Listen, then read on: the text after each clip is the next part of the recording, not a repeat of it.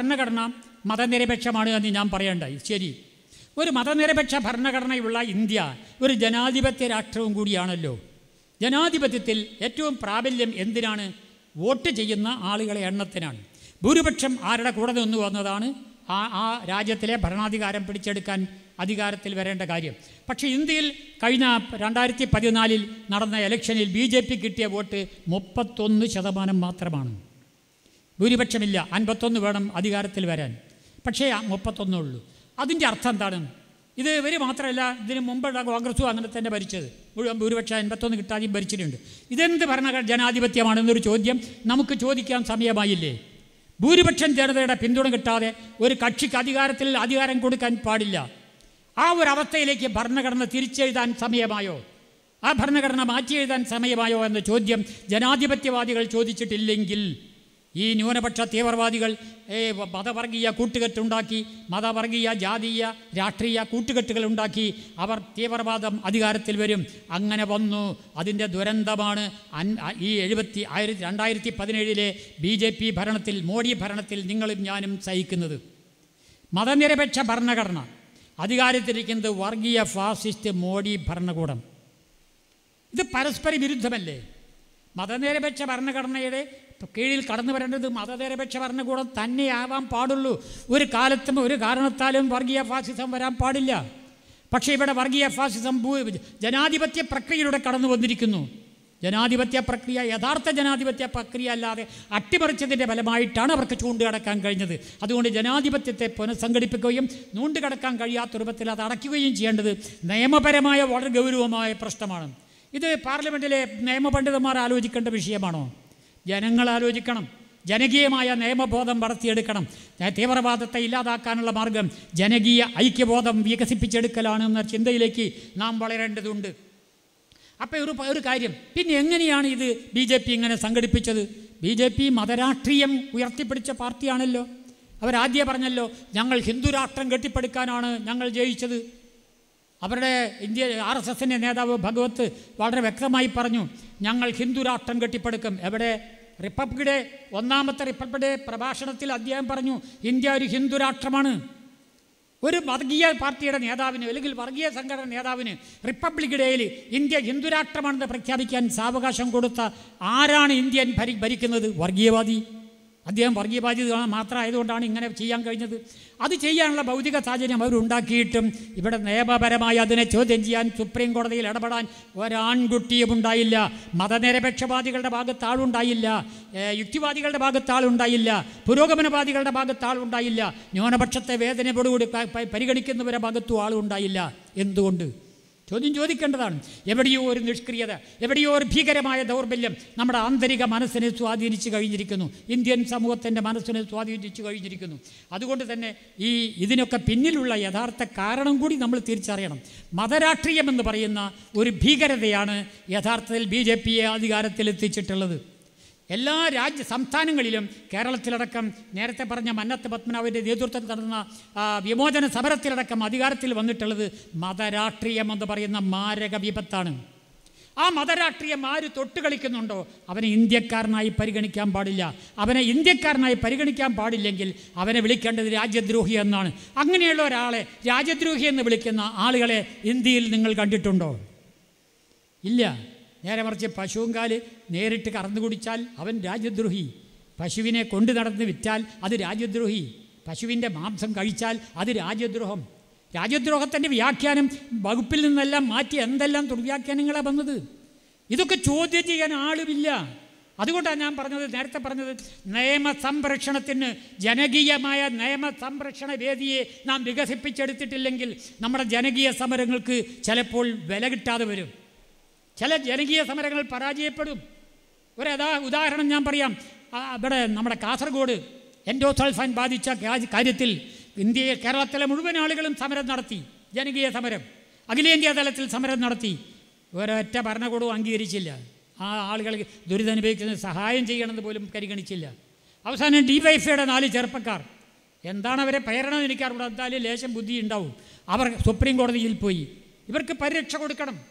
Supreme കോടതി തീരുമാനം വന്നു. അവർക്ക് അനുകൂലമായി. അങ്ങനെയാണ് കാസർഗോട്ട് അങ്കര ഈ വികലാംഗന്മാർക്ക് അല്ലെങ്കിൽ ഈ രോഗികൾക്ക് കാസ പിന്നെ എന്താ എന്താ ക്യാൻസർ രോഗികൾക്ക് ഗുണം കിട്ടിയിട്ടുള്ളത്. സുപ്രീം കോടതിയുടെ ഒരു നാലംഗ അപേക്ഷയുടെ ഫലമായിട്ടുണ്ടായ വിധി.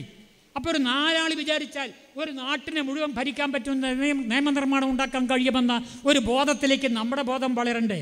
ഇത് ഡി വൈ എഫ് ഐക്കാർക്ക് മാത്രം ചെയ്യാൻ പറ്റിയ പണിയാണോ? നിങ്ങളുടെ കൈക്ക് നിങ്ങൾക്ക് എന്താ കയ്യും കാലുമില്ലേ ആ കൈക്ക് ചിന്തിക്കുന്ന ഒരു തല വേണ്ടേ? ആ തല യഥാർത്ഥത്തിൽ ചിന്തിക്കണ്ടേ? അങ്ങനെ ചിന്തിക്കുകയാണെങ്കിൽ നമുക്ക് പണമുണ്ടാക്കാൻ വിഷമമുണ്ടോ? സംഘടിതമായ പ്രവർത്തനം നടത്താൽ പണമുണ്ടാക്കാൻ ഒരു വിഷമവും ഉണ്ടാവില്ല. പണം സംഘടനാപരമായിട്ടാണ് സാമൂഹ്യമായിട്ടാണ് സംഘടിപ്പിക്കാൻ പറ്റുക. ഓരോരുത്തരും ഓരോ പൈസ ഇട്ടാൽ തന്നെ എത്ര പണം ഉണ്ടാകും നിങ്ങൾ ആലോചിച്ച് നോക്കൂ.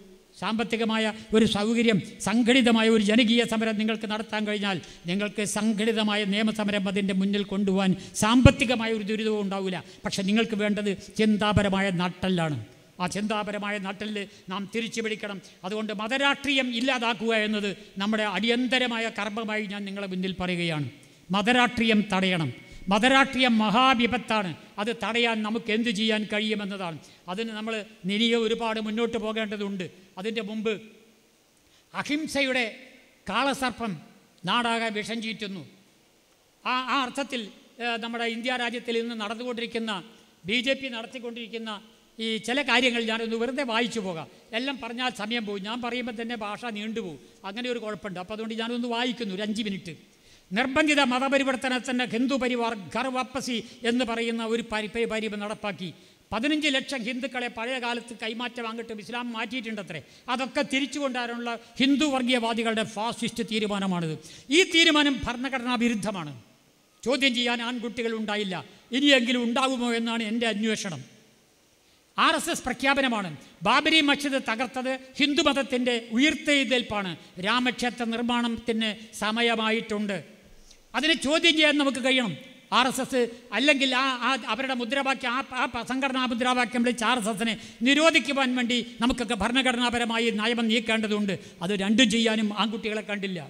ക്രിസ്തുമസ് ദിനം വാജ്പേയിയുടെ ജന്മദിനമായി ആഘോഷിച്ച് എല്ലാ വിദ്യാലയങ്ങളും പരിപാടിയുടെ വീഡിയോ സമർപ്പിക്കുവാൻ കേന്ദ്ര സർക്കാർ നിർദ്ദേശിച്ചിരിക്കുന്നു. കേന്ദ്ര സർക്കാർ ചെയ്തത് ഭരണഘടനാ വിരുദ്ധമാണ്. വകുപ്പ് വകുപ്പെടുത്ത് പരിശോധിച്ചാൽ നമുക്ക് കാണാൻ സാധിക്കും. ഭരണഘടന മാത്രമല്ല വേറെ ഒരുപാട് നിയമങ്ങളുണ്ട് ഇതിനെതിരായി നിൽക്കുന്ന. I P C Indian penal കോഡിൽ ഇതിനെ ചോദ്യം ചെയ്യാൻ പറ്റിയ വകുപ്പുണ്ട്. അതൊക്കെ ഞാൻ കുറച്ചൊക്കെ പ്രിപ്പയർ ചെയ്തിട്ടാണ് വന്നത്. പക്ഷേ അങ്ങോട്ട് ഞാൻ കടക്കുന്നില്ല. എനിക്ക് സമയത്തിന്റെ ഒരു നിബന്ധനയുണ്ട്. എന്റെ സുഹൃത്തുക്കളാരും എഴുന്നേറ്റ് നിൽക്കുന്നില്ല. അതുകൊണ്ട് ഞാൻ തുടരുകയാണ്. പിന്നെ ഇന്ത്യയിൽ മുസ്ലിങ്ങൾക്കും ക്രിസ്ത്യാനികൾക്കും ഇടമില്ല. ഇവിടെ ജീവിക്കണമെങ്കിൽ ഹിന്ദുവാകണം ഹിന്ദു നേതാക്കന്മാരുടെ പ്രസ്താവനയാണ്. ഇവരെ തറവാട്ട് വകയാണ് ഹിന്ദു പ്രദേശമെന്നാണ് ഇവരെ കണക്ക് കൂട്ടൽ ഹിന്ദു ആരാണെന്ന ഒരു പരിഗണനയെക്കുറിച്ച് ഈ അടുത്ത ഹിന്ദു തന്നെ ഒരു ഹിന്ദു പത്രത്തിലൊരു മിനിയാന്നൊരു ലേഖനം വന്നു. അത് ജനറ്റിക് പരിശോധന നടത്തിക്കൊണ്ടിരിക്കുകയാണ്. ഇവിടെ പിന്നെ എന്താ പറയുക മോഹൻജോദാരോ ഹരപ്പ തുടങ്ങിയ സ്ഥലങ്ങളിൽ നിന്ന് കിട്ടിയ നാല് അസ്ഥിപഞ്ചരങ്ങളെ പഠനം നടത്തിയപ്പോൾ പഴയ ബോധങ്ങളൊക്കെ പാരമ്പര്യം. നമ്മൾ ആരാണ്? ആര്യൻ ആര്യൻ ആരാണ്? ഹിന്ദു ആരാണെന്നുള്ള ചോദ്യങ്ങൾക്കൊക്കെ ജനറ്റിക്സ് അസൽ അത്ഭുതകരമായ മറുപടി കൊടുത്താൽ ഭാരതീയ പാരമ്പര്യവാദം പൊളിയാൻ ഇടയുണ്ട് എന്നൊരു പ്രബന്ധം ശാസ്ത്രീയമായി മിനിയാമത്തെ ഹിന്ദുവിൽ വന്നിട്ടുണ്ട്. ഞാൻ അതെല്ലാം പഠിച്ചിട്ടുണ്ട്. പക്ഷേ ഇപ്പം അതൊന്നും പറയാൻ പോകുന്നില്ല. അതിലേക്ക് കടക്കുന്നില്ല. അത് അത് നമ്മൾ പരിഗണിക്കുമ്പോഴാണ് എനിക്ക് പറയാനുള്ളത്. ഇവിടെ ആദ്യം ആര് വന്നു? ആദ്യം പിന്നെ ആര് വന്നു? അവർക്ക് എന്താ അവകാശം? ഇന്നയാൾ ഇവിടെ നിൽക്കണം. ഭരണഘടനയിൽ ഈക്വാലിറ്റി ബിഫോർ ലോ ഇത് പറഞ്ഞവനെ ആ വകുപ്പ് പിടിച്ച് കോടതിയിലെ ജയിലിലെ തറയിലേക്ക് പറഞ്ഞയക്കേണ്ടതാണ്. പക്ഷേ കോടതി പോകാൻ നട്ടലുള്ള ആളുകളില്ല. അപ്പോൾ ആറ് എസ് ഭീഷണിപ്പെടുത്തുമോ എന്നതാണ് ഭയം. അങ്ങനെ ഭയന്നാൽ എന്താ ചെയ്യാൻ സാധിക്കുക? ആദ്യം നിങ്ങളൊരു കാര്യം തീരുമാനിക്കുക.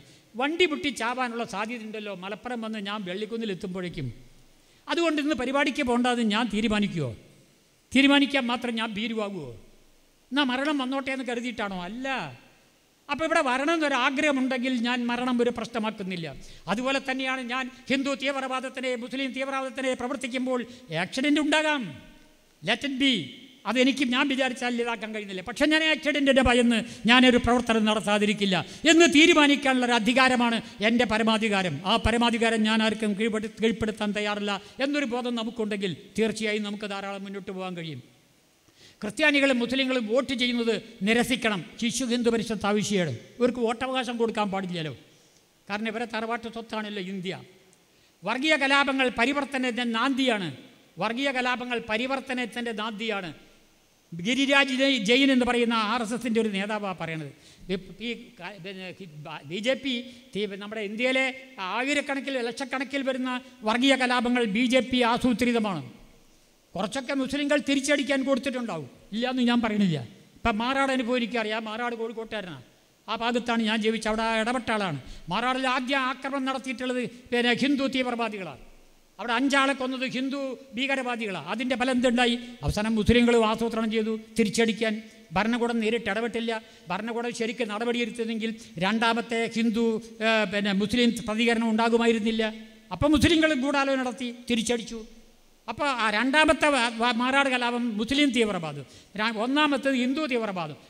ഒന്ന് ഇത് ഒന്നും രണ്ടും നേരിട്ട് നിൽക്കുന്നത് പരസ്പരം ഏറ്റുമുട്ടൽ. വൈരുദ്ധ്യാത്മകമായ പിന്നെ വർഗീയ കലാപങ്ങൾ. മാർസിയൻ കൺസെപ്റ്റ് പ്രകാരം കറക്റ്റാണ് ഒരു വൈരുദ്ധ്യത്തെ എതിർ വൈരുദ്ധ്യം കൊണ്ട് നേരിടുമ്പോൾ ഏത് വൈരുദ്ധ്യം ജീവിക്കുമെന്നത് വൈരുദ്ധ്യങ്ങളിൽ ഏതാണോ സബലം അത് നിലനിൽക്കും. അല്ലാത്ത ദുർബലമായത് തളർന്നു പോകും എന്നത് അവിടെ നമുക്ക് അനുഭവപ്പെടാൻ കഴിഞ്ഞു. നാം മാർക്സിസ്റ്റ് ക്ലാസ് ഒന്നും എടുക്കേണ്ട കാര്യമില്ല. ഗാന്ധിജിയല്ല നെഹ്റുവിനെയാണ് വെടിവെക്കേണ്ടതെന്നാണ് കേസരി വാരികയിൽ എഴുതി വച്ചിട്ടുള്ളത്. ഏതോ തീവ്രവാദി വിളമ്പിയതായിരിക്കും കേസരിയിലാണ് ഞാനത് വായിച്ചത്. നെഹ്റുവിനെയല്ല അല്ല ഗാന്ധിനെയാണ് ഇവർ വെടിച്ചു കൊന്നത്. അതിനല്ല നെഹ്റുവിനെയാണല്ലോ കൊല്ലേണ്ടത്. എന്താ കാരണം? നെഹ്റു ഒന്നാം തരം മതനിരപേക്ഷവാദിയാണ്. വിട്ടുവീഴ്ചക്ക് തയ്യാറാവാത്ത മതനിരപേക്ഷവാദി. കമ്മ്യൂണിസ്റ്റുകാർ പോലും പോലും ബഹുമാനിക്കേണ്ട ഒരാളാണ് ജവഹർലാൽ നെഹ്റു എന്നാണ് ഞാൻ പറയുക ആ നെഹ്റുവിന്റെ ആത്മാർത്ഥതയും തന്റെ ഇടവും മതനിരപേക്ഷ കാര്യത്തിൽ കമ്മ്യൂണിസ്റ്റുകാർ കാണിച്ചിരുന്നെങ്കിൽ നമ്മുടെ രാജ്യത്തിന്റെ മുഖച്ഛായയിൽ കുറേ മാറ്റം വരുമായിരുന്നു. ഒരു ഉദാഹരണം പറയാം. ഞാനത് പറയുമ്പോൾ കമ്മ്യൂണിസ്റ്റുകാർക്ക് ഇഷ്ടപ്പെടുകയുണ്ടാവും. അത് അവർക്ക് അങ്ങനെ ഇഷ്ടപ്പെടേണ്ട വെറുതെ കാര്യം വെച്ചിട്ടാണ് പറയണമെന്ന് മനസ്സിലാക്കാൻ വേണ്ടി പറയാം. ഏഹ്, സോമനാഥ ക്ഷേത്രം പുനർനിർമ്മാണം നടത്തുന്നു. അപ്പോൾ അവിടുത്തെ അമ്പല കമ്മിറ്റി അന്നത്തെ പ്രസിഡന്റ് രാജേന്ദ്ര രാജേന്ദ്ര അന്നത്തെ പ്രസിഡന്റ്? അന്നത്തെ പ്രസിഡന്റ് പേര് എനിക്ക് വേണ്ടി കിട്ടണില്ല രാജേന്ദ്ര പ്രസാദ്. അദ്ദേഹത്തെ വിളിച്ചു. ആ പിന്നെ പുനർനിർമ്മാണം ഉദ്ഘാടനം ചെയ്യാൻ. അദ്ദേഹം കിട്ടിയ ഒരു നല്ല ചാൻസ് അല്ലേ? വിശ്വാസികളെ കൈകാര്യം ചെയ്യാൻ പറ്റിയ ഒരു സമയമല്ലേ എന്ന് കരുതി പോയി. പോവാമെന്ന് സമ്മതിച്ചു. ഈ വിവരം നെഹ്റു അറിയുന്നു. നെഹ്റു പ്രധാനമന്ത്രി എന്ന നിലയ്ക്ക് പ്രസിഡന്റിനെ വിളിക്കുന്നു. പ്രസിഡന്റ് ഇന്ത്യയുടെ പ്രധാനമന്ത്രി ഇന്ത്യയുടെ ഭരണഘടന മതനിരപേക്ഷമാണ്. ഒരു ഭരണാധികാരി മതകാര്യങ്ങളിൽ നേരിട്ട് ഇടപെടാൻ പാടില്ല. മതത്തെ എതിർക്കേണ്ട കാര്യമില്ല പക്ഷേ ഇടപെടാൻ പാടില്ല. അതുകൊണ്ട് ആ ഉദ്ഘാടന യോഗത്തിൽ പങ്കെടുക്കേണ്ടതില്ല. എത്ര ലളിതമായി എത്ര വിനയപൂർവമാണ് രാജേന്ദ്ര പ്രസാദ് സ്വീകരിച്ചത് ആ പരിപാടി ക്യാൻസൽ ചെയ്തത്. ഈ പാഠം നമ്മളെ പിണറായി വായിച്ചിട്ടുണ്ടോ? ഉണ്ടെങ്കിൽ ശബരിമലയിൽ പോകുന്ന രീതിയും അവിടെ നടത്തിയ കർമ്മങ്ങളും മത മതത്തോടുള്ള മാർസിസത്തിന്റെ സമീപനങ്ങളും ഒന്ന് കൂട്ടി വായിക്കണ്ടേ? അങ്ങനെയാണെങ്കിൽ ഈ അപജയം നമുക്കുണ്ടാവുകയില്ലല്ലോ. അപ്പോൾ ഞാൻ ചൂണ്ടിക്കാണിക്കുന്നത് ഇത്തരം അപജയങ്ങൾ നമ്മുടെ നാട്ടിൽ സ്ഥിരം വരുന്നു. അപ്പം നെഹ്റുവിനോട് ബി ജെ പിക്ക് ദേഷ്യമുള്ളതിന്റെ കാരണം മനസ്സിലായില്ലേ? നെഹ്റു ഒന്നാം തരം മതനിരപേക്ഷവാദി. നേരെ കുറച്ച് പിന്നെ ഗാന്ധിയോ ഗാന്ധി രാമരാം റാം റാം പറഞ്ഞ് നടന്ന ആളല്ലേ? അപ്പം ഇത് കുറേ ഭക്തിയും പറഞ്ഞില്ലേ? ദൈവം സത്യമാണെന്ന് പറഞ്ഞ് നടന്ന ആളല്ലേ? അവസാനമല്ലേ മനസ്സിലായത്? സത്യമാണ് ദൈവമാണെന്ന് മനസ്സിലാക്കാൻ കുറേ കാലം വേണ്ടി വന്നില്ലേ? അപ്പോൾ ഗാന്ധി ഒരു അർത്ഥത്തിൽ ഒരു മതപക്ഷപാതിയാണ്. എന്നാൽ അങ്ങനെ ഞാൻ അയാളെ ആക്ഷേപിക്കൂല്ല. ആക്ഷേപിക്കൂല അദ്ദേഹം ശുദ്ധ മതപക്ഷപാതിയല്ല. മാനവിക ബോധമുള്ളൊരു മതവാദിയാണ്.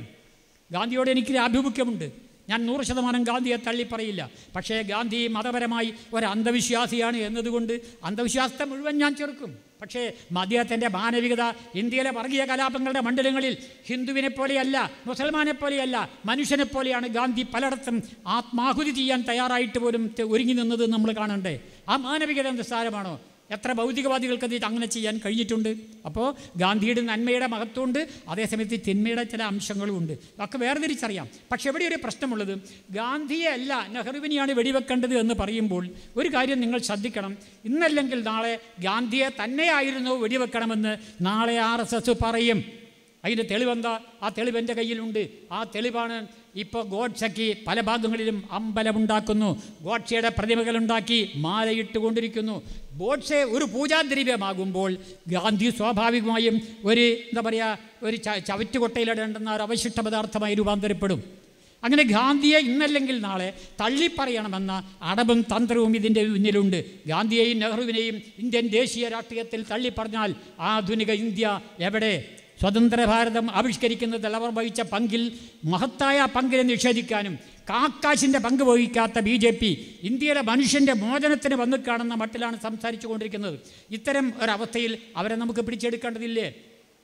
മഹാത്മജി രാഷ്ട്രപിതാവാകാൻ പിതാവാകാൻ അർഹനല്ല. വീര സവർക്കറും ഭൗതി ഭഗത് സിംഗുമാണ് അതിന് അർഹരെന്നാണ് ഇവരെ വേറെ വ്യാഖ്യാനം. വരാൻ പോകുന്ന കാര്യങ്ങളുടെ തെളിവതാണ് ഇനിയും അങ്ങനെ കുറേ എണ്ണം വായിക്കാനുണ്ട്. ഞാൻ അവസാനിപ്പിക്കുന്നു. അപ്പം എന്നാ പറഞ്ഞു വരുന്നത്? വർത്തമാനകാലിക ഇന്ത്യ എന്ന് പറയുന്നത് വർത്തമാന ഇന്ന് നാം ജീവിക്കുന്ന ഇന്ത്യ കേരളം ഹിന്ദു തീവ്രവാദത്തിന്റെ മുസ്ലിം ഭീകരവാദത്തിന്റെ ഭീകരതകൾ കൊണ്ട് നമ്മെ ശ്വാസം വെട്ടിക്കുന്നു. ഇത്തരമൊരു സാഹചര്യത്തിൽ യുക്തിവാദികളുടെ പ്രസക്തി എന്താണ്? യുക്തിവാദികൾ എങ്ങനെയാണ് അവരുടെ രാഷ്ട്രീയം അവരുടെ ദേശീയ സാംസ്കാരിക നിലപാടുകൾ ഉയർത്തിക്കൊണ്ടുവരേണ്ടത്? ഒന്നാമതായി യുക്തിവാദി ആകണമെങ്കിൽ ഒരാൾ ഒരു ഹ്യൂമനിസ്റ്റ് ആയിരിക്കണം. ഒരു ഹ്യൂമനിസ്റ്റിന് മാത്രമേ യുക്തിവാദി ആവാൻ കഴിയൂ എന്നാണ് എന്റെ അവകാശവാദം. അല്ലാത്തവരും യുക്തിവാദി ഗ്രൂപ്പിലുണ്ടെന്ന് വരാം. അതൊന്നും ഉൾക്കൊള്ളാതെ ചിലപ്പോൾ വന്നവരുണ്ടാകാം. അവർ നാളെ അത് മനസ്സിലാക്കണം. ഒരു ഹ്യൂമനിസ്റ്റാണ് ഈ യുക്തിവാദി. എന്താ കാരണം എന്ന് പറയുക അങ്ങനെ പറയാൻ എന്താ കാരണം? യുക്തിവാദിയായി നാം ഇങ്ങനെ ദൈവത്തിനും മതത്തിനും എതിരെ മനുഷ്യന് വേണ്ടി ഒരുപാട് വർത്തമാനം പറഞ്ഞ് കുറേ മതവിശ്വാസികൾ വെറുപ്പിച്ച് അവസാനം വെട്ടും കുത്തുമൊക്കെ കൊണ്ട് വീണ് ചാവുന്നു. എന്നിട്ട് എന്താ നേട്ടം? ഈ പാവം യുക്തിവാദിക്ക് നരകുമില്ല സ്വർഗമില്ല സ്വർഗവുമില്ല. ഇനി ചത്താൽ അവിടെ പോയി ഒരു പുണ്യം കിട്ടാച്ചാൽ അതും കിട്ടൂല. അങ്ങനെ മരിച്ചാലും പുണ്യമില്ല ജീവിച്ചാലും പുണ്യമില്ല എന്നാലും ഞാൻ യുക്തിവാദം വിടൂല്ല. ഇതെന്തൊരു ദുർവാശിയാണപ്പാ. ആ ദുർവാശിയാണ് മാനവികതയുടെ മഹത്വം. ഹ്യൂമനിസ്റ്റായ യുക്തിവാദിയുടെ മാനവികതയുടെ മഹത്വം അതാണ്. എന്റെ സമൂഹത്തിലെ മതവിശ്വാസികളെ അവരെ വിശ്വാസത്തിൽ നിന്ന് മോചിപ്പിച്ചെടുത്തുകൊണ്ട് അവരെ എന്നെപ്പോലെ യുക്തിവാദിയായ ഒരു ഹ്യൂമനിസ്റ്റാക്കി മാറ്റുക എന്ന് പറയുന്നത് ഒരു മാനവികമായ വിമോചന കർമ്മമാണ് ഈ മാനവികമായ വിമോചന കർമ്മം ചെയ്ത് ഞാൻ ഇന്നങ്ങോട്ട് വീട് മരിച്ചാൽ എന്റെ ജീവിതത്തിൽ എനിക്ക് മോക്ഷമായി. മോക്ഷം പരലോകത്ത് കിട്ടേണ്ട ഒരു പ്രതിഭാസമല്ല. മരിക്കാൻ നേരത്ത് നമുക്ക് മനസ്സിൽ തോന്നേണ്ട ഒരു ആശ്വാസവാക്യമാണ്. മരിക്കാൻ നമുക്ക് നാം എന്റെ കടമ നടത്തി ഞാൻ മരിക്കുന്നു. എനിക്ക് സന്തോഷമുണ്ടെന്ന് കരുതിയാൽ നിങ്ങൾക്ക് പുണ്യം കിട്ടി. അതാണ് പുണ്യം. ആ പുണ്യം അതേ യുക്തിവാദികൾക്ക് എന്ന് കരുതുന്ന ഭൗതികവാദികളാണ് യുക്തിവാദികൾ. അപ്പോൾ ഈ ഒരർത്ഥത്തിലാണ് യുക്തിവാദം. അന്ധവിശ്വാസങ്ങൾക്ക് മനാധാരങ്ങൾക്ക് മത തീവ്രവാദത്തിനും മത ഭീകരവാദത്തിനും ഒക്കെ എതിരെ കർശനമായ നിലപാടെടുത്ത് നാം പ്രവർത്തിക്കുന്നത്. ഈ പ്രവർത്തനം നമുക്ക് വേണ്ടിയല്ല യുക്തിവാദികൾക്ക് വേണ്ടിയിട്ടല്ല യുക്തിവാദികൾ പ്രസംഗിക്കുന്നത്. അത് യുക്തിവാദികളെങ്കിലും ഒന്ന് തിരിച്ചറിയണം. നാം പ്രവർത്തിക്കുന്നത് പാവപ്പെട്ട നിരക്ഷരരായ സാമ്പത്തികമായി പിന്നോക്കം നിൽക്കുന്ന ജീവിതത്തിൽ ദുരിതമനുഭവിക്കുന്ന മതവിശ്വാസികളെ അവരെ ബോധവൽക്കരിച്ച് ആ ദുരിതത്തിന്റെ പിടിയിൽ നിന്ന് രക്ഷപ്പെടുത്തി കൊണ്ടുവരില്ല അപ്പോൾ അതൊരു വിമോചന കർമ്മം തന്നെ. ആ കർമ്മമാണ് നമ്മളെ നമ്മൾ ചെയ്യാൻ ഉദ്ദേശിക്കുന്നത്. ഇത്തരം ഒരു കർമ്മം ചെയ്യുന്ന സമയത്താണ് ന്യൂനപക്ഷ വിരുദ്ധ മർദ്ദനങ്ങൾ ഇന്ത്യയിൽ നടക്കുന്നു. ന്യൂനപക്ഷ വിരുദ്ധ മർദ്ദനങ്ങൾ. ഒരു മുസ്ലിം മുഹമ്മദ് അക്ലഖ് വീട്ടിൽ ഒരു പിന്നെ പശുവിന്റെ മാംസം സൂക്ഷിച്ചു ബീഫ് സൂക്ഷിച്ചു എന്ന പേരിലാണ് അയാളെ കൊന്നത്. അങ്ങനെ ഒരു അഞ്ച് പത്ത് കേസുകൾ ഞാൻ ഒരു ലിസ്റ്റ് ഉണ്ടാക്കിയിട്ടുണ്ട്. വായിക്കുന്നില്ല. നിങ്ങൾ ഇപ്പോൾ പറഞ്ഞ് പറഞ്ഞ് പരിചയമുള്ള കേസാണ് ഇതൊക്കെ. അങ്ങനെ കുറേ ആളുകളെ ഇപ്പോൾ കൊന്നു കളഞ്ഞു. പിന്നെ വണ്ടിക്ക് പോത്തിനെയോ അല്ലെങ്കിൽ പശുവിനെയോ വാങ്ങി വരുമ്പോൾ തടഞ്ഞു വെച്ച് ഗോരക്ഷക സൈന്യങ്ങൾ അട്ടിമറിക്കുന്നു അവരെ കൊല്ലുന്നു തച്ചു കൊല്ലുന്നു ഇതൊക്കെ എത്ര എത്ര സംഭവങ്ങളാണ് വരുന്നത്? ഒരു ഭാഗത്ത് ഇത്തരം തീവ്രവാദ കർമ്മങ്ങൾ ഒരു ഭാഗത്ത്. രണ്ടാമത്തെ ഒരു ഭാഗമുള്ളത് പിന്നെ ദളിതുകൾക്കെതിരായ ആക്രമണങ്ങൾ. പിന്നോക്ക ജാതിക്കാരാണോ? അവരെ നശിപ്പിക്കുക. ദിൻ പിന്നോക്കക്കാരെ നശിപ്പിക്കുക. അതിന് പിന്നിൽ എന്താ കാര്യം? പിന്നെ ഹിന്ദു മതത്തിന്റെ ചാതുർവർണ സംസ്കാരത്തിൽ നിന്നാണല്ലോ ആധുനിക ഹിന്ദുത്വ വളർന്നു വരുന്നത്. ടൈമായോ? ആധുനിക ഹിന്ദുത്വ വളർന്നു വരുന്നത് ചാതുർവർണ സംസ്കാരത്തിൽ നിന്നും ചാതുർവർണം എന്ന് പറയുന്നത് അയിത്തജാതിക്കാരെ ചവിട്ടിമതിച്ചുകൊണ്ട് ദീർഘകാലം കഴിഞ്ഞിട്ടാണ് ചാതുർവർണ സംസ്കാരം ഇന്ത്യയിൽ നിലനിന്നത്. അപ്പം ചാതുർവർണത്തിന്റെ ബ്രാഹ്മണ്യമാണ് ഹിന്ദുത്വ എന്ന സംസ്കാരത്തിന്റെ ആർ എസ് എസിന്റെ അടിസ്ഥാനം അപ്പോൾ അവർ ഈ രാജ്യത്തെ എന്നുണ്ടോ അന്നൊക്കെ ഈ ദാരിദ്ര്യ ജനവിഭാഗങ്ങളെ പ്രത്യേകിച്ചും ദളിതുകളെ അടിച്ചമർക്കും. തച്ചുകൊല്ലും. അവർക്ക് ജീവനുണ്ടെങ്കിൽ അവരെ മനുഷ്യരായി അവർ പരിഗണിക്കുന്നില്ല. അപ്പോൾ ഒരു പ്രധാന കാര്യം വരുന്നു. ഇന്ത്യയിലെ ആകെ പതിമൂന്നര ശതമാനം ബ്രാഹ്മണന്മാരാണ് ഉള്ളത്. അവരാണ് സവർണന്മാർ. പതിമൂന്നര ശതമാനം ബ്രാഹ്മണന്മാരേ ഉള്ളൂ. വല്ലാതെ വലുതാക്കി പറയണ്ട.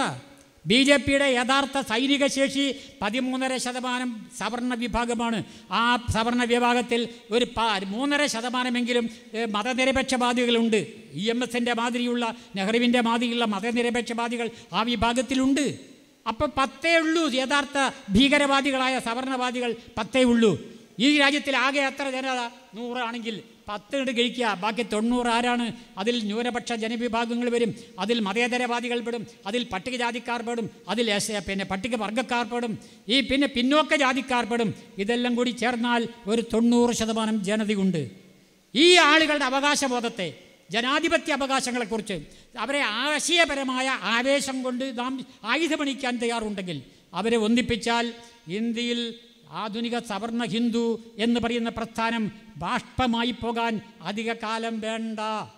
അടിത്തറയില്ലാത്തൊരു മണ്ണിൽ നിന്നുകൊണ്ടാണ് അവർ ഈ ഭീകരവാദം കൊണ്ടുവരുന്നത്. അതുകൊണ്ട് അവരുടെ ഭീകരവാദത്തെ ഉപയോഗിച്ചുകൊണ്ട് അവശജാതികളെ അനുഭവിക്കുന്ന യാതനകളുടെ പ്രശ്നങ്ങൾ കൂന്നൽ കൊടുത്തുകൊണ്ട് സാമ്പത്തിക ജീവിതത്തിൽ അനുഭവിക്കുന്ന ദുരിതങ്ങൾ നേതൃത്വത്തിലെടുത്തുകൊണ്ട് നേരത്തെ കരിയം പറഞ്ഞതുപോലെ പട്ടിക ഇപ്പോൾ നമ്മുടെ കർഷകന്മാർ മൂന്നര ലക്ഷം കർഷകന്മാർ ആത്മഹത്യ ചെയ്ത നാടാണ് ഇവിടെ.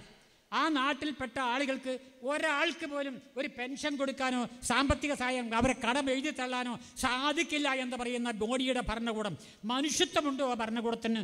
എന്ത് വേദാന്താണ് ഇവർ പറയുന്നത്? അപ്പോൾ അവരുടെ ആഗോളവൽക്കരണ സംസ്കാരത്തിൽ അവശജന സംരക്ഷണം പെടില്ല. ഈ അവശജന സംരക്ഷണത്തിന് കർഷകന്മാരുടെ ഐക്യമുന്നണികൾ കടന്നു വരുന്നു. തൊഴിലാളി വർഗത്തിന്റെ ഐക്യമുന്നണികൾ കടന്നു വരുന്നു. ആ സാമ്പത്തിക ജീവിതത്തിലെ ദുരിതങ്ങളെ ആശയമണ്ഡലത്തിൽ അനുഭവിക്കുന്ന ജാതീയവും മതപരവുമായ അന്ധവിശ്വാസപരമായ മേഖല അനുഭവിക്കുന്ന ദുരിതങ്ങളുമായി കൂട്ടിക്കുഴച്ചുകൊണ്ട് ഒരു ജനകീയ ഐക്യമുന്നണി സാംസ്കാരിക ഐക്യമുന്നണി അഖിലേന്ത്യാ തലത്തിൽ ഊട്ടിയെടുക്കാനുള്ള ഉത്തരവാദിത്വം യുക്തിവാദികൾ നേതൃത്വത്തിൽ ഏറ്റെടുക്കേണ്ടതുണ്ട്. രാഷ്ട്രീയക്കാർ ഇത് എടുക്കുമെന്ന് എനിക്ക് തോന്നുന്നില്ല. യുക്തിവാദികൾ മുന്നിലെടുക്കണം. ഒരു സാംസ്കാരിക ദേശീയ മതനിരപേക്ഷ മുന്നണി. സാംസ്കാരിക ദേശീയ മതനിരപേക്ഷ മുന്നണി ഇവിടെ ആവിഷ്കരിച്ചെടുക്കുകയാണെങ്കിൽ ഈ ദളിതുകളെ അടക്കമുള്ള പിന്നോക്ക ജനവിഭാഗങ്ങളെയും അതുപോലെ അവശ്യ ജനവിഭാഗങ്ങളെയും സംഘടിപ്പിച്ച് തീവ്രവാദത്തിനെതിരെ ഒരുമിച്ച് നിർത്തിയാൽ ഇന്ത്യയിൽ ഇവിടുത്തെ നമ്മൾ ദുരിതമനുഭവിക്കുന്ന ജനതയുടെ ദുരിതം തീർക്കാനും ഈ ഫാസിസത്തിന്റെ മൂക്ക് പിടിച്ച് മാ എന്ന് എഴുതിക്കുവാനും വളരെ അധിക സമയം വേണ്ടിവരില്ല എന്നും അതൊരു ശുഭാപ്തികരമായ ചിന്തയുടെ വിഷയമാണെന്നും നിങ്ങളോട് അറിയിച്ചുകൊണ്ട് യുക്തിവാദികളോട് എനിക്ക് പറയാനുള്ളത് ഈ ഐക്യമണി നമ്മുടെ ഗ്രാമങ്ങളിൽ നിന്ന് തുടങ്ങേണ്ടതാണ്. അല്ലാതെ ഡൽഹിയിൽ ഉണ്ടാക്കിയിട്ട് ഇങ്ങോട്ട് ഇറക്കി വിടുകയല്ല. ആ ഗ്രാമങ്ങളിൽ ഇത്തരം ഐക്യമണി നടത്താൻ ഇറക്കാനുള്ള ആളുകളെ സംഘടിപ്പിക്കാനുള്ള അതിന്റെ ഫലമായി അവരെ ആശയം കൊണ്ട് ആയുധമണിയിക്കാനുള്ള അതിലൊരു പ്രധാന ആയുധം ശാസ്ത്രമാണ്. ശാസ്ത്രമാണ് ഏറ്റവും പ്രധാന ആയുധം. യുക്തിവാദികളെയൊക്കെ ഒരു തെറ്റിദ്ധാരണയുണ്ട്. അവരെ അന്ധവിശ്വാസം എന്നാണ് ഞാൻ അതിനെ വിളിക്കണത്. ഞങ്ങൾ വിചാരിച്ചിട്ടാണ് ഇവിടെ മതത്തിനെതിരായ പ്രചാരവിലക്ക് വിജയിച്ചത്. അതൊരു അന്ധവിശ്വാസമാണ് എന്റെ അഭിപ്രായം. മാധ്യമ യുക്തിവാദികൾ എന്താ ചെയ്യണമെന്ന് അറിയോ? ശാസ്ത്രത്തെ ഇടത്തെ കയ്യിലും വലത്തെ കയ്യിലും ആയുധമാക്കുക. ശാസ്ത്രമാണ് മതത്തിന്റെ അടിത്തറ തകർത്തത്. അതിന്റെ ചരിത്രത്തിലേക്ക് ഞാൻ കടക്കുന്നില്ല. ഇന്നും അത് തന്നെയാണ് ശരി. ഇന്ന് ലോകത്തിൽ മുഴുവൻ പത്ത് സ്കാൻഡിനേവിയൻ രാഷ്ട്രങ്ങളിൽ അൻപത്തിരണ്ട് മുതൽ എൺപത്തെട്ട് ശതമാനം വരെ നാസ്തികന്മാരായി മാറിക്കഴിഞ്ഞിരിക്കുന്നു. നെതർലാൻഡ് എന്ന് പറയുന്ന രാജ്യം ജയിലറകൾ അടച്ചുകൊണ്ടിരിക്കുന്നു. അഞ്ച് ഇരുപത് ജയിൽ പൂട്ടി. അഞ്ച് ജയിൽ പൂട്ടാൻ പോകുന്നു. കാരണം അവിടെ കുറ്റവാളികളില്ല. എന്താ കാരണം? അവിടെ അറുപത്തെട്ട് ശതമാനം നാസ്തികന്മാരാണ്. നാസ്തികന്മാർ എവിടെ വളർന്നു വരുന്നുവോ? അവിടെ ജനാധിപത്യ സംസ്കാരം സ്വാഭാവികമാണെന്ന് വരുന്നു വരുന്നു.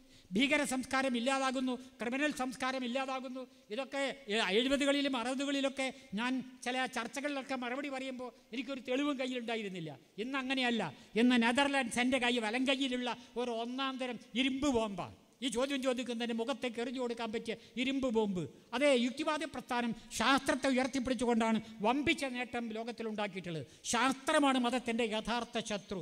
ആ ശാസ്ത്രത്തെ സാമൂഹ്യ ജീവിതത്തെ പരിവർത്തിപ്പിക്കാനുള്ള ആയുധമായി രൂപാന്തരപ്പെടുമ്പോൾ അതിനെതിരെ ചെറുക്കുന്ന ആളുകളെ തരം കിട്ടുമ്പോൾ തുറന്നു കാണിക്കുക എന്നുള്ള കടമ നമുക്കുണ്ട്. മലപ്പുറം ജില്ലയിൽ അത് വേണ്ടത്ര നടന്നിട്ടില്ല എന്ന് ഞാൻ നിങ്ങളോട് പറയുന്നു. ഉദാഹരണത്തിന് ഇവിടെ അടുത്ത കാലത്ത് വാക്സിനേഷൻ വന്നല്ലോ. റോബല്ല അതുപോലെ എം ആർ രോഗങ്ങൾക്കെതിരെ അവിടെ ഇന്നും എഴുപത് എൺപത് ശതമാനത്തിൽ എതിരായിട്ടുള്ള കുട്ടികൾക്ക് ഇന്ന് ഇഞ്ചക്ഷൻ കൊടുത്തിട്ടില്ല. ഇരുപത് എഴുപത്തഞ്ച് വരെ ഇഞ്ചക്ഷൻ ആയിട്ടുള്ളൂ. ഇരുപത്തഞ്ച് ശതമാനം ചെയ്തിട്ടില്ല. മത തീവ്രവാദികൾ അതിനെതിരെ പ്രചാരവേല നടത്തുക. അതിന്റെ ഫലം എന്താ? അവരെ കുട്ടികളാ ചാവുക. പക്ഷേ അവരെ മക്കളാണെങ്കിലും മനുഷ്യരാണല്ലോ. അവരല്ലല്ലോ കുറ്റവാളികൾ. അതുകൊണ്ട് സന്തോഷിക്കാൻ അവകാശമില്ലല്ലോ. അതുകൊണ്ട് അവരെയും സംരക്ഷിക്കാനുള്ളത് കൊണ്ട് നാം ശാസ്ത്രത്തിന്റെ മഹത്വം ചൂണ്ടിക്കാണിച്ച് അത് മനുഷ്യർക്ക് മതക്കാർക്കടക്കമുണ്ടാക്കി കൊടുത്ത നേട്ടത്തെ ചൂണ്ടിക്കാണിച്ചു കൊടുത്തുകൊണ്ട് നമ്മളെ ഈ സാംസ്കാരിക ഐക്യവേദിയുടെ ഒരു അടിത്തറയായി ആ ശാസ്ത്രീയ പ്രചാരവേലയുടെ തന്ത്രങ്ങൾ സ്വീകരിക്കുകയാണെങ്കിൽ തീർച്ചയായും നമ്മുടെ ഭാവി ശുഭോദർക്കമാണെന്നും സ്വതന്ത്ര ചിന്തയെ ശാസ്ത്രീയ ചിന്തയുമായി കൂട്ടിയോജിപ്പിച്ചു കൊണ്ടുവേണം മുന്നോട്ട് കൊണ്ടുപോകാനെന്നും അടിവരയിട്ട് പറഞ്ഞുകൊണ്ട് ഞാൻ എന്റെ വാക്കുകൾ ഉപസരിക്കുന്നു. അഭിവാദ്യങ്ങൾ.